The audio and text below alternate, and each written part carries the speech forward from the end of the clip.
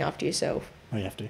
Have like hundred percent. Like even with a lot of the mental health stuff, like we held a session a couple weeks ago, I think three weeks ago now, and it was like wellness and well like a well-being wellness session, Mhm. pretty much with run by the leadership group. So me, Larry, Kate, and Haley. Pretty much we just put on pizzas and virtually just did like a triple H session. So do you know what that is? Explain. So, the Richmond Football Club, they started doing this pretty much as they started becoming success. So the season, I think it was the season, like the pre-season from when they started to turn their season around, mm-hmm. where they actually started to become pretty successful. Yep. They did a Triple H session. So pretty much you, you have a choice. So you can stand up and say. A hero, a hardship, or a highlight in your life. So yep. you can either That's a say triple H. yeah, so that's the triple Hero. H. Hero, hardship, Hardship and a highlight. highlight. Hero, So, hardship, and highlight. we pretty much, because I was talking to you before, like Dylan Friends, he had Brendan Ellis Yep. on.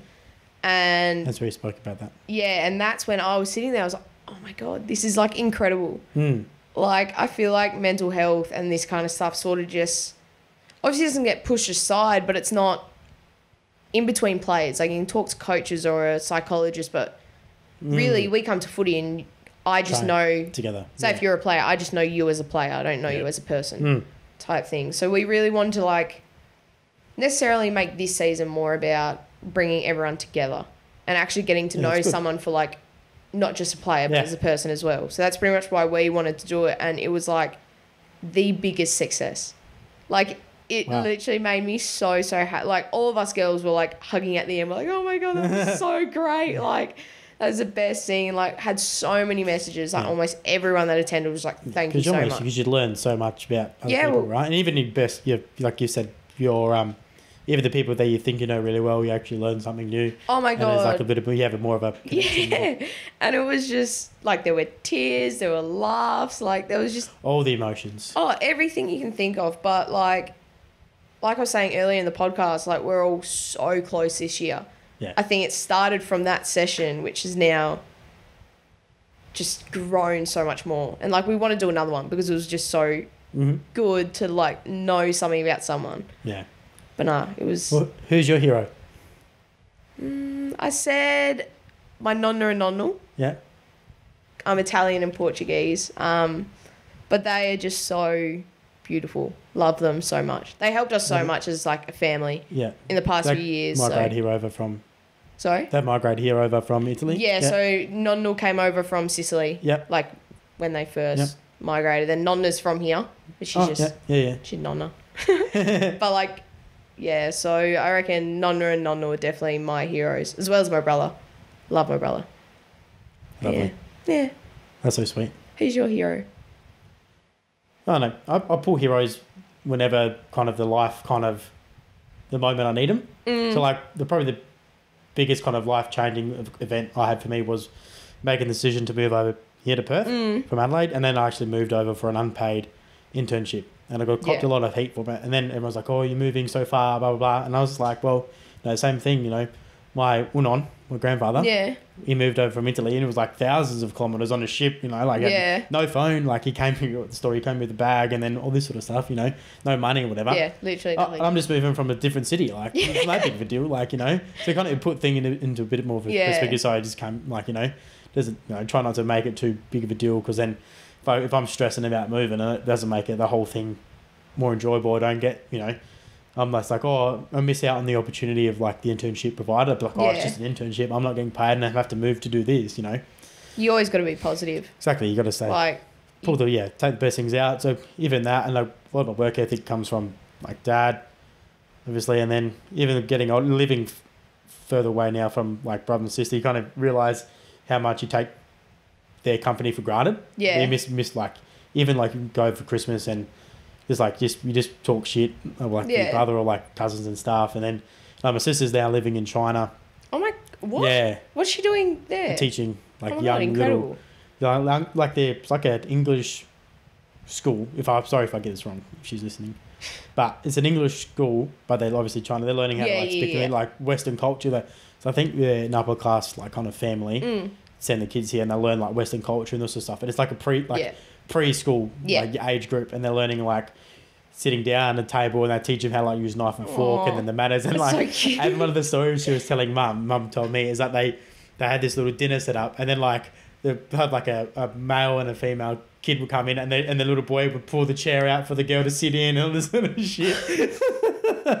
and I was mum was telling me I was like restored yeah. in humanity. Anyway, yeah, and she got anyway. She was over for the whole COVID thing, and she ended up getting stuck, and she had to work her over here. Mm. And then we all ended up like like Gabby or my sister left, and then she left. Oh, did she leave first or did I leave first? I think I left first, and she was looking to leave. And anyway, so we all left pretty soon, and then it my brother was the youngest. He stayed. And then within a couple of months, we'll come back because obviously COVID Yeah, broke down. It was like, co- oh, might as well just go back home. And then we're all back home. Mum's like, oh, well, family's yeah.